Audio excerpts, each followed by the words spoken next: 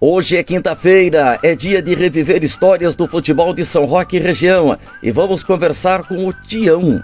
O Tião que nasceu em Itapitininga, passou pela Várzea de Sorocaba e veio para nossa São Roque. Jogou no Paulistano, Juride, Estrela do Marmeleiro, 7 de setembro do Tabuão é mais um convidado especial do nosso Tadeu Mangini, que, claro, estará conosco. Programa Linha Aberta, na minha página do Facebook, no canal do YouTube e também na página da Giromix. E começa às seis, seis e pouquinho, sempre tem aquele atraso regulamentar.